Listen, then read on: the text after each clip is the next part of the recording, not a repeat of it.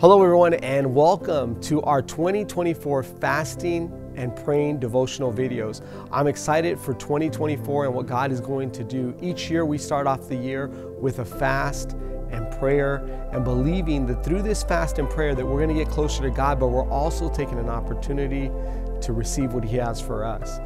And so, as we go through these videos and we have some studies, I just want to share a story with you of when I was fasting, praying, and believing for God to do something great in my life. Um, we started off a fast just like we're starting it off now. And Pastor Marco came up and he said, You know what? Write down 10 names of people that you're believing to be saved and come to the house of God. And you know, each year I took that opportunity and I love that opportunity because I'd start putting all my family members' names down. I have so many family members and I wanted to see them all get saved. And each year I'd write down their name and each year we had an opportunity to text them to send them an invite.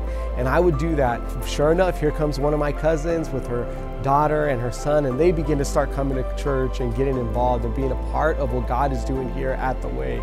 Then before you know it, I continue to press in and write down more names. And um, uh, just this year, past year that passed, I saw my Uncle Mario in the parking lot and I really didn't recognize him. And I told one of the guys that were with me, I said, that looks like my uncle. And I wasn't sure if that was him. So we kept working. We went back inside to check on a couple things in the church. And lo and behold, there was my Uncle Mario walking in and I said, Hey, what are you doing here? He says, All these years you've been inviting me, sending me text, inviting me to come, and I've decided to come. Not only did he decide to come, but he went up to the altar that day and gave his life to Jesus. What an opportunity for him to come just by following, by praying and believing and following the steps that were given. Have faith, fast and pray and believe, write down their names, and guess what? He showed up. And so, as today, as we get into this study, we're going to be going over Matthew chapter 1, verse 18 through 25. So let's read that. It says, This is how Jesus, the Messiah, was born. His mother, Mary, was engaged to be married to Joseph. But before the marriage took place, while she was still a virgin, she became pregnant through the power of the Holy Spirit. Joseph, whom she was engaged was was a righteous man and didn't want to disgrace her publicly, so he decided to break off the engagement quietly. As he considered this, an angel of the Lord appeared to him in a dream. Joseph, son of David, the angel said, Do not be afraid to take Mary for your wife, for a child, for the child within her was conceived by the Holy Spirit, and she will have a son, and you are to name him Jesus for he will save his people from their sins. All this occurred to fulfill the Lord's message through the prophet Look, the virgin will conceive a child, and she will give birth to a son, and they will call him Emmanuel, which means God is with us. Joseph woke up, and he did as the angel of the Lord commanded him, and took Mary as his wife but he did not have sexual relationship with her until the son was born, and Joseph named him Jesus. Now let's take a look at this really quick. What, humanly thinking, oh Lord, how did this happen? What did I get myself into? Am I making wrong decisions?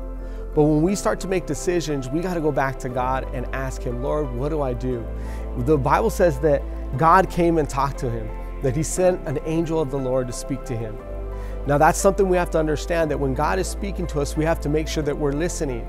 The Bible says that we're not just supposed to be hearers of the word, but we're also supposed to be doers of the word.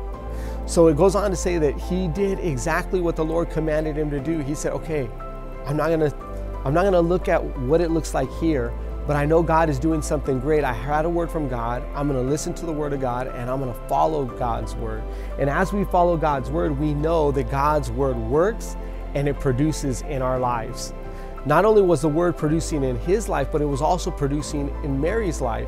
We know that Mary was willing to obey, uh, was willing to submit, just like Joseph was willing to obey. Mary now gets gets a vision or, or uh, a visit from an angel as well, saying, "Guess what? You're going to have a son." And what does Mary say?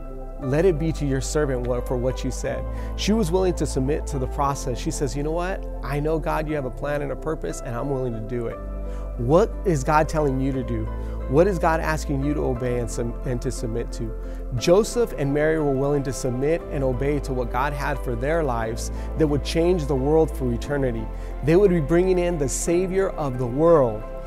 Joseph had an opportunity to raise Jesus, to instruct him, to guide him, to direct him. Mary had an opportunity to birth Jesus into this world as a virgin. It's amazing what God will do with anybody who's willing to listen, who's willing to follow, and do exactly what He tells us to do.